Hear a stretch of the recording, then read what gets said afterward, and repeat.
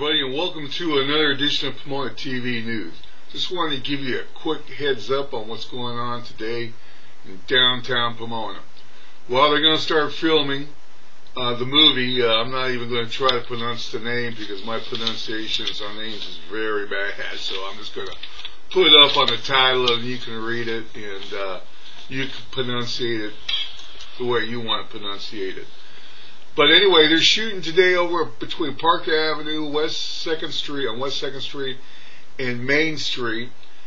And uh, so they're going to be shooting there today and possibly uh, maybe tomorrow. I'll give you a heads up again about their uh, schedule. Of course, I did post uh, the schedule, uh, what they will be filming on what days. So anyway, um, let me take a quick look here at the. Uh, okay, a full street closure Monday, December 13th from 5 a.m. to 9 p.m.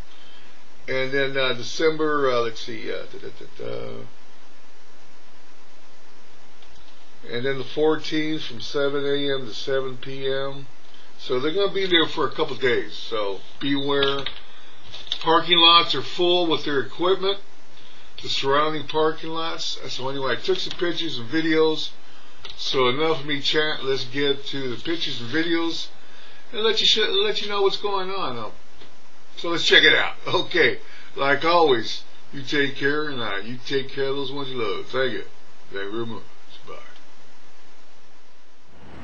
Now you can see this morning over here on West 2nd Street and Park Avenue, they're setting up for uh, a scene here, a shoot. You can see a couple crash vehicles there. Probably take place in the uh, film or filming they're going to. But it's also pretty interesting how they set up for these shots.